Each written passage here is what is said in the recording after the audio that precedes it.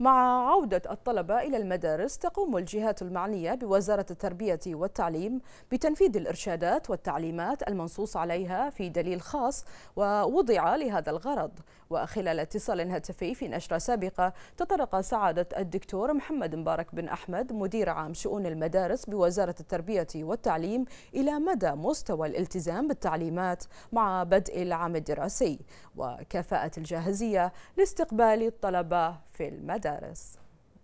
اليوم الأول لبدء الدوام المدرسي. كانت هناك فرق طبعا تعمل على التحقق من التزام المؤسسات المدرسية جميعا بالإرشادات الصادرة عن وزارة التربية والتعليم وأيضا الخطط التي تم اعتمادها بغرض تسيير اليوم الدراسي في ظل هذه الظروف الاستثنائية. طبعا الالتزام عال جدا ومتميز من جميع المدارس الحكومية آه، والالتزام طبعا من طرفين من طرف المؤسسات المدرسية كإدارات وكمنسوبين وأيضا من قبل أولياء الأمور والطلبة، هناك شراكة مجتمعية متميزة جدا تجلت خلال هذين اليومين اليوم وأمس.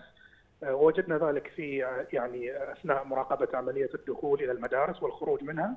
رصدنا ذلك أيضا خلال عملية تلقي التعليم داخل الفصول الدراسية. رصدنا ذلك من خلال تعاون منسوبي جميع المدارس سواء كانوا من الهيئات التعليمية أو الإدارية أو الإشرافية داخل المدرسة، هناك التزام عال جدا ومن الواضح أن جميع الإدارات المدرسية أخذت بعين الاعتبار كل ما تم تقديمه لها ويعني من من إرشادات وتعليمات وهناك حرص طبعا عالي المستوى للالتزام بهذه الإرشادات.